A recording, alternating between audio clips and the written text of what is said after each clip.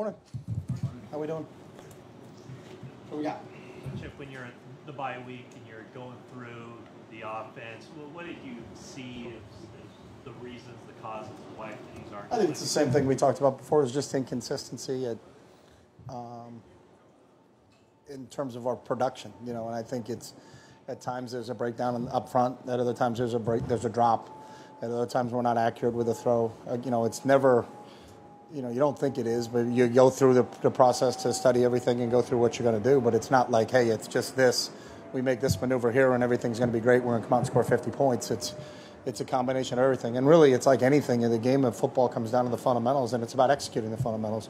Whether it's a proper technique in, in terms of blocking somebody, or it's the proper technique in catching the football, or separating at the top of a route, or to give yourself an opportunity to get open, or putting the ball where it needs to be at certain times. So. Is, is it this week you're, you're focusing more on fundamentals? No, I think we do focus on fundamentals, but I also think it's it's one of those deals where, you know, it's about being able to take it from the practice field to the to the game field, and that's the transition that we're not making at, at all times right now. So.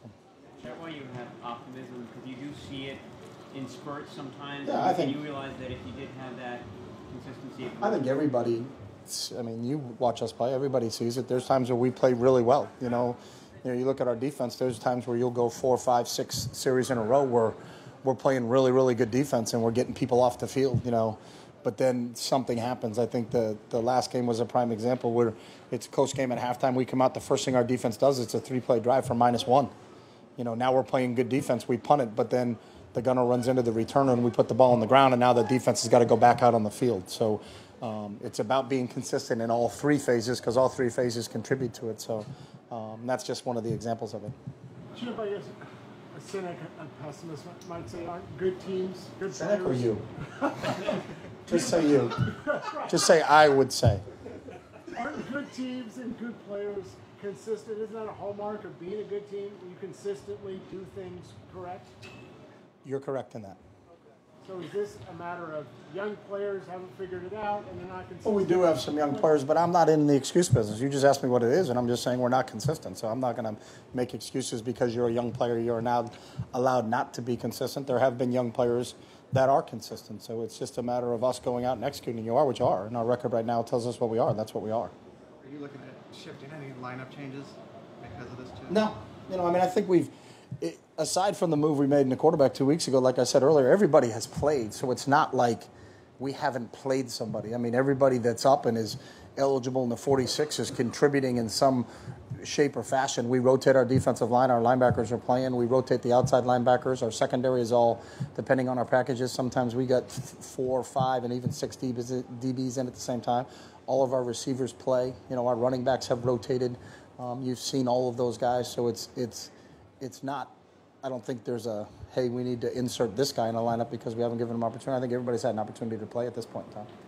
You- You've mentioned, obviously, a lot goes into passing game and receivers playing well, the protection being there, but, but for Colin, what does he need to do to improve his consistency? I just think th- for a lot of for Colin is more reps. You know, again, he, he missed some valuable time there.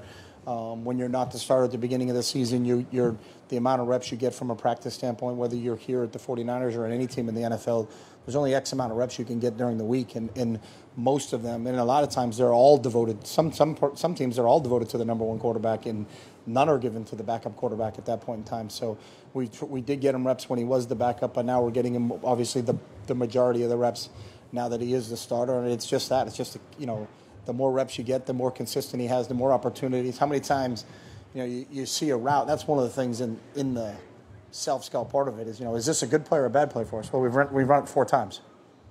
You know, we're we're one of four with a drop. Is it a good play or a bad play? Well, we may not have enough information because we haven't run the play enough. So a lot of the stuff you do from a self scout standpoint, not only do we look at the season, but then you got to look at the last two games because those are the two games that Colin played in. So we look at something and say, hey, this wasn't a good concept for us. We've run it. The statistics aren't good on it, but we only ran it once with Colin. We ran it seven times with Blaine. So is it? Does the quarterback change affect that play? So there's a, there's still a lot of unknowns out there in terms of the lack of reps that he's gotten at this point in time. So he's still not getting 100% of the practice reps. No, no one does. I mean, your backup still has to get reps. So he that's just switched between him and Blaine. So what what Blaine was getting before Colin gets now, and what what Colin had gotten before Blaine gets now, because you still have to get you're backup ready. I said there are some teams in the league that do that, but that's that's not. I know Peyton Manning was notorious where he wanted to take every rep. He didn't want it, but you also, as a coach, have to get your backup ready because if the starter goes down with a sprained ankle in the first quarter, you can't say, well, the guy we just put in the game hasn't taken reps in the last three weeks because we were trying to get the bulk of the reps to him. That's just kind of a there's X amount of reps you can run. You know, everybody has the ones have so many reps they can run during a practice. How many of them are devoted to the starting quarterback? The majority are. We're probably about 80% to our starting quarterback and 20% to our backup quarterback. So. Has the quarterback change improved the offense, and if so, how? I think in certain aspects, I think uh, you know the Colin's ability in, in, in the run game has has has uh, has given us a little bit added bonus in terms of it. I think sometimes people's decisions to how they play you. Um, you know, I think Tampa Bay started our game off the other day, played a little bit more man in the beginning of the game. Colin took off on a couple runs on on um, on design pass plays, but when the defense has their back turned and now they're all running with receivers, he's taken off. So now it forces you to say, hey, if I'm a defensive coordinator, do I want to play man and now not have our back turned to the defense, have our back turned to the offense, and then have the quarterback be able to take off? So now we get more zone in some situations. So um, I, I think there's been some aspects of our offense that, that, that Colin's helped and made an impact on. What led you to decide to stay uh, in Orlando Chicago just the convenience of where it is. You know, we had looked initially to stay out, you know, because it's an extended stay. We're playing two games um, out east, so to speak. I know Chicago's not in the east, so don't quote me. I know it's in the Midwest, but to not come back in the in the travel, and I know they've done it here before. To us, it was more convenient to go from Miami to Orlando to Chicago than to, to go somewhere else. So, want to try to make sure we're in a warm weather area, but also still, if it's a storm, they have an indoor facility. So, um, and I know Scott Frost, who is a good friend of mine and coaches at US, uh, UCF. Um, you know, a lot of times you say, "Hey, let's do it here," but you can you? So we they took a little while to work out the logistics, but that's the reason why. And a lot of teams have done. I think Oakland just did it. They stayed out in Florida for uh, their back-to-back games, and, and I know a lot of teams that come west do it. So it's something that's kind of commonplace in this league. Did you carry this year team to see what they thought? I talked to the players, you know, Joe and some of those guys that had done it before, and they, they actually liked it. According, to, you know, so I, I we have a leadership council, and those guys seemed excited about doing it. So, Is there a sports science advantage to, to doing it that way? well, you're not changing time zones, you know, so you're, you're the lack of time on a plane is obviously will have an effect on you uh, in terms of not having to travel. Um, so the travel part of it is eased a little bit. So there's a there's an effect from that standpoint. like that at, at Oregon, um, traveling east uh, for No, because we, we, we only we if we were to play like we played Tennessee, but we're only there for a day, so it wasn't. We never stayed. We never played Tennessee and then played someone else, or never played at Michigan then stayed to play someone else. So there was no extended stays. And in the bowl games, you always go in seven or eight days before the bowl itself, so um, you got time to get acclimated to to the time. But we never. I don't think we played on any East Coast bowls, so you know we were either in Arizona or the Rose Bowl or you know the Fiesta Bowl or the Rose Bowl.